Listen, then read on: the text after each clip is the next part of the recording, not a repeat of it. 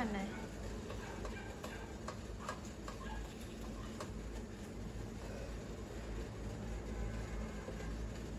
Bây giờ mình sẽ hấp nha các bạn.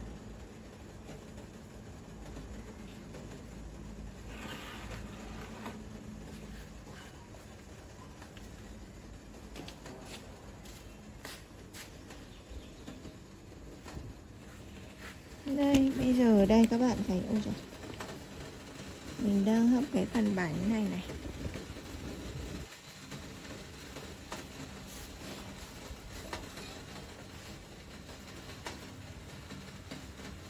Bông hoa rất là đẹp đang rơi các bạn. Nhặt mình một cành hoa rơi gần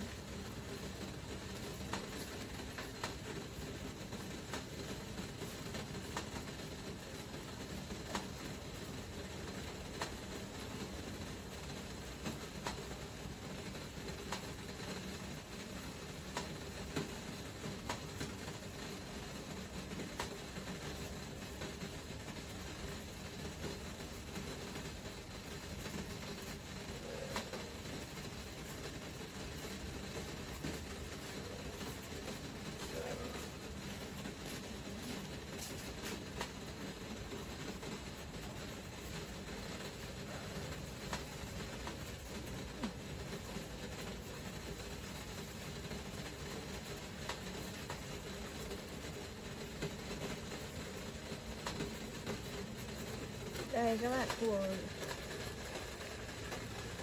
đấy nó cắt chín rồi các bạn. Đây là bánh đúc các bạn nha. Ở quê mình gọi là bánh đúc đấy.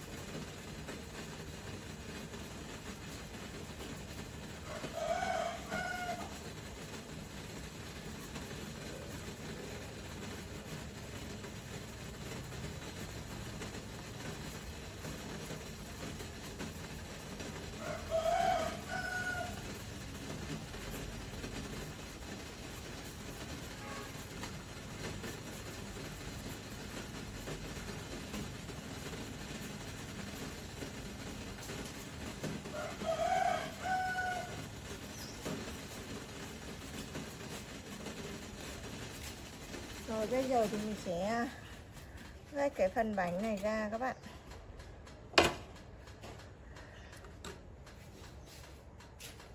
Về ấy. Rồi ớ chơi đây chút Nó cùng họ mai gì hả? Chắc có lè vào trước uống ấy nữa. Một trước uống bia, đã là nó có lè về rồi nhậu nhẹt chứ nữa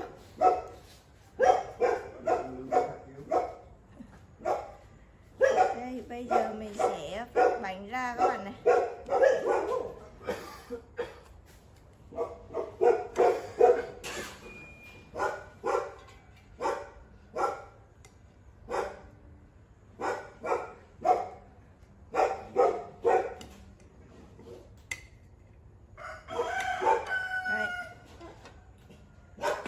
xong các bạn nha đây là cái phần bánh mình đã hấp rồi quê mình gọi là bánh đúc ấy Đấy, mình sẽ bông hoa ở dưới cho nó đẹp này.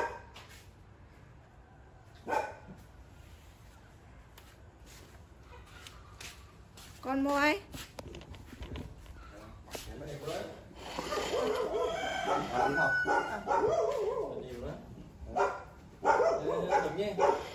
cày nữa mà cũng được ra nóng cây tao để xem này bọn đấy thì là có đó đó chính cái người gửi lại.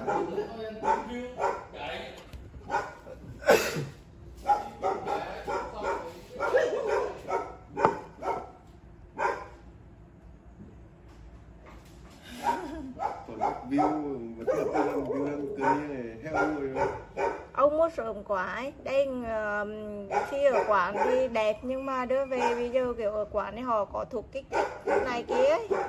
đưa về héo rồi dùng mệt quá rồi.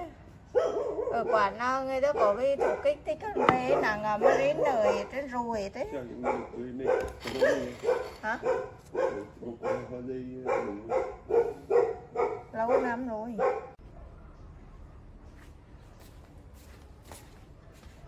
Hello, chào các bạn nha. Hôm nay mình sẽ hướng dẫn cho chúng ta cách làm một loại bánh từ sữa Milo các bạn. Hay mình ở đây thì mình sẽ sử dụng một hộp sữa Enchua này nhá. Thì hôm nay mình sẽ làm một món bánh từ sữa Enchua đây. Đây các bạn này.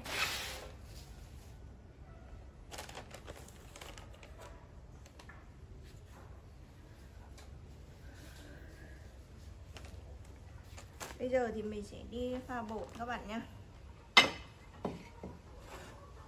Thì ở đây mình sử dụng bột mì hoa ngọc lan các bạn này.